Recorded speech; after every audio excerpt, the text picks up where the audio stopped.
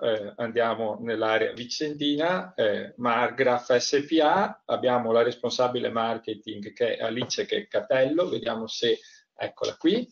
Buongiorno Alice. Buongiorno, buongiorno, buongiorno a tutti. Buongiorno, buongiorno.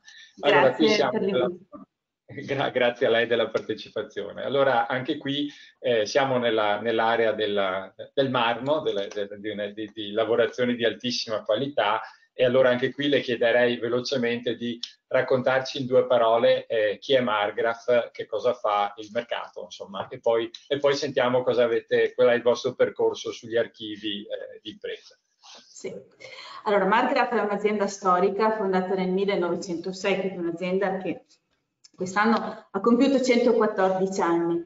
È un'azienda che eh, lavora il marmo a 360 gradi, quindi si occupa dell'estrazione del, del marmo in cava, alla trasformazione in lastra, al prodotto finito su misura.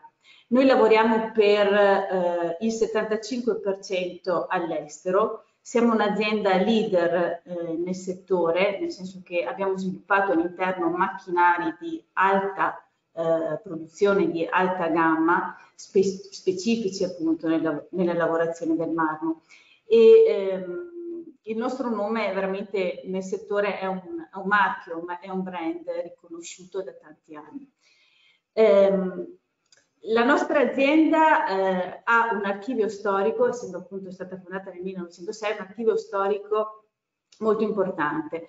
L'azienda nel 1935 era stata praticamente presa in gestione dalla famiglia Marzotto e la famiglia Marzotto ha segnato un processo diciamo di eh, trasferimento dei dati e eh, diciamo di memoria della, dei documenti importanti, importanti come l'ha fatto appunto nelle altre aziende che, che, che gestiva, che portava avanti.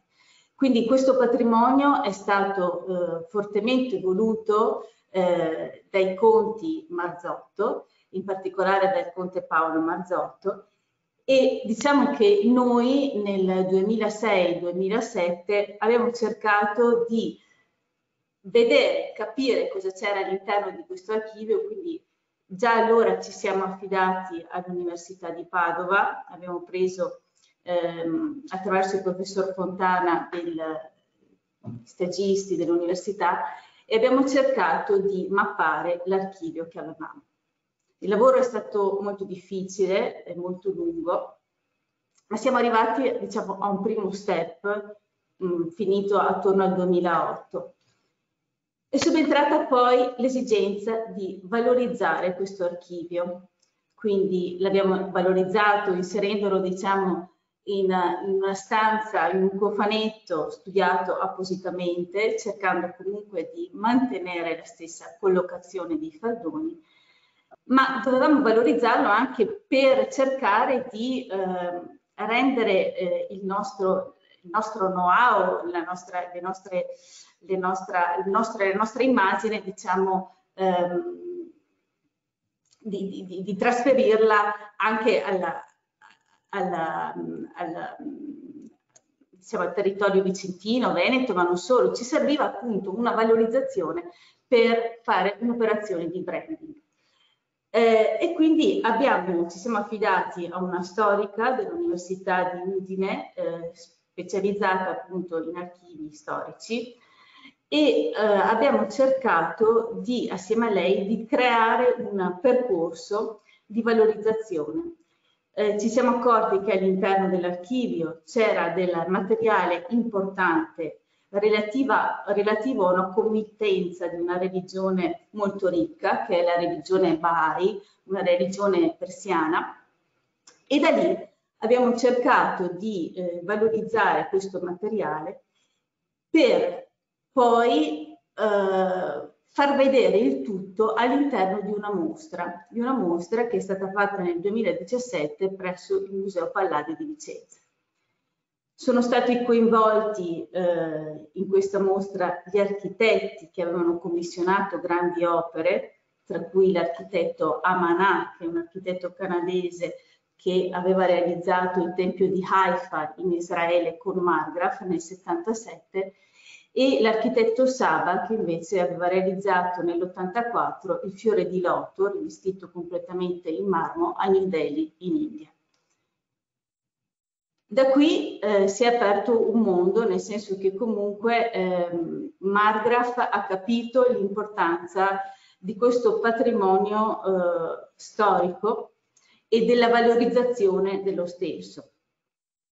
Si è aperto un mondo anche perché diciamo, questo processo di valorizzazione ci è servito anche per riagganciare la committenza Baha'i, quindi diciamo che il processo di valorizzazione di un archivio storico diventa fondamentale per un'azienda anche dal punto di vista diciamo, della, eh, del, lavoro, del lavoro stesso, insomma non è solo un'operazione culturale ma diventa anche un'operazione di business a mio, a mio giudizio e ve lo posso testimoniare.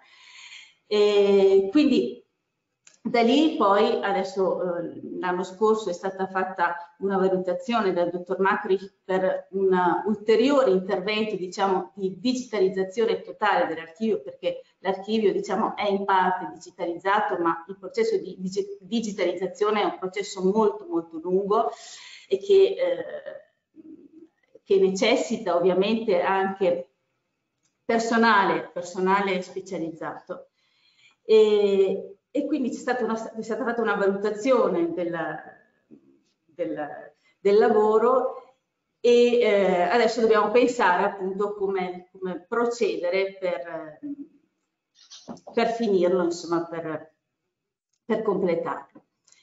Eh, pensate che il nostro archivio storico è stato valorizzato attorno ai 13 milioni di euro, quindi una valorizzazione molto importante, ehm, una valorizzazione fatta dallo stesso dottor Makorik. Eh, quindi questo per dire che eh, molte volte l'imprenditoria veneta purtroppo eh, ha eh, pensato che il patrimonio culturale di un'azienda non fosse importante. Io vi posso assicurare che quando ho visto per la prima volta il nostro archivio eh, era veramente abbandonato. E, ehm, quindi diciamo è importante però per un'azienda andare a scoprire la propria storia e valorizzarla. Eh, il processo di valorizzazione è fondamentale per un'operazione anche di, di branding. Insomma, diciamo una bellissima storia anche agganciata alla, alla religione, alla, alla, avete i committenti religiosi sostanzialmente, e, e, siete riusciti rivalorizzando la vostra cosa ad aprirvi anche a, a, un di un ulteriore processo di internazionalizzazione che è una cosa davvero incredibile. Poi l'altra cosa che mi sembra di dover sottolineare è il fatto insomma che c'era già una consuetudine storica ad avere un archivio intanto che arriva da, da, dai Mazzotto, c'era addirittura la l'idea appunto di fare questa, avete, avete, avuto ricercatori dentro in azienda per poter catalogare questo vostro archivio, siete arrivati a fare la mostra, quindi questa sensibilità verso questa tipologia di, di, di, di questa materia sostanzialmente è sempre evidentemente stata presente nell'azienda, però il fatto di averla in qualche modo eh, rinvigorita, in qualche modo di averci investito sopra, sta portando ulteriori frutti, ulteriori risultati che mi sembra molto interessante. E poi lei ha detto una cosa, ha, ha detto un numero numero che mi ha, eh, che mi ha, eh, che mi ha molto colpito, nel senso che qui insomma, si parla di mobilizzazioni materiali, quindi io posso mettere a bilancio sostanzialmente un valore, un numero che, eh, che è dato dalla mia storia, dalla mia, dal mio passato, dalla, da, da, tutto quello che... Insomma, non mi sembra una cosa onestamente da poco, però è un altro elemento che lei ha citato e che effettivamente è un altro elemento eh, su cui penso che anche le riflessioni di oggi, le riflessioni che eh, anche, anche, di coloro che sono eh, in questo momento collegati, penso insomma dovrebbero andare perché, perché davvero è un elemento di grandissimo interesse.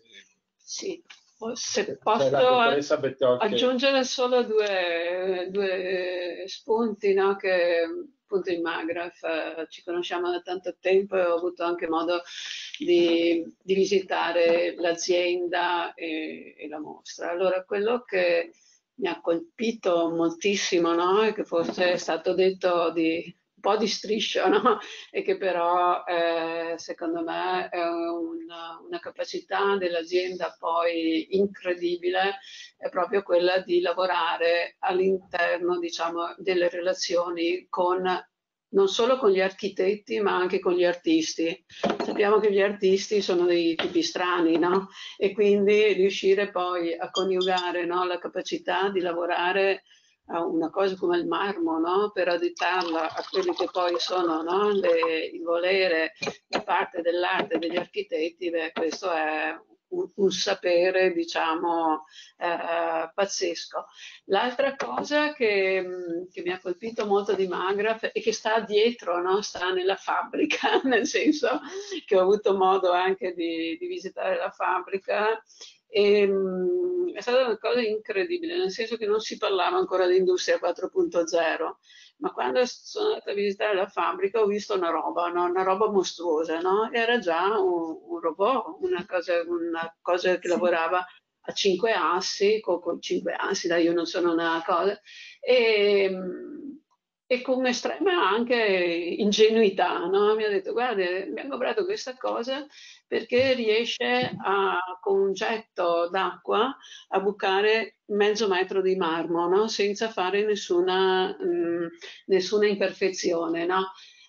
E, e, ecco, questa cosa no, di mettere insieme la tecnologia, l'investimento della tecnologia e il saper fare che poi si traduce in quelle opere d'arte, eh, secondo me è stato anche raccontato con estrema ingenu ingenuità e però è un fattore no, questo di, di, coniugare tecnologia e, e poi uh, prodotto di tipo architettonico e, arti e artistico che è fantastico. Ecco. Beh, sì, questo eh, quando si lavora su, su, misura, quando si lavora con architetti, si deve essere sempre flessibili, la tecnologia è fondamentale. Eh, cito i BAI perché mi sto collegando a, a, a, questo, a questa valorizzazione dell'archivio, ma per loro sono stati fatti dei macchinari appositi per fare una serie di rivestimenti e quindi la nostra flessibilità è quella rivolta diciamo ogni volta ad ogni progetto che facciamo quindi diciamo che ogni nostro progetto diventa parte dell'archivio storico Margraf e questo lo stiamo facendo nel senso eh, l'attività di comunicazione che viene fatta su ogni progetto eh, diventa appunto un tassello che poi diventerà parte fondamentale dell'archivio stesso insomma. Bellissima storia. Comunicazione, la comunicazione va di pari passo, diciamo, all'idea di voler archiviare e valorizzare eh, il nostro patrimonio storico. Quello che c'è. Bellissima testimonianza anche questa. Grazie mille, sì. dottoressa, grazie della, di, di, questa bella storia, altra grazie bella storia. Alle prossime. Grazie, arrivederci, arrivederci grazie.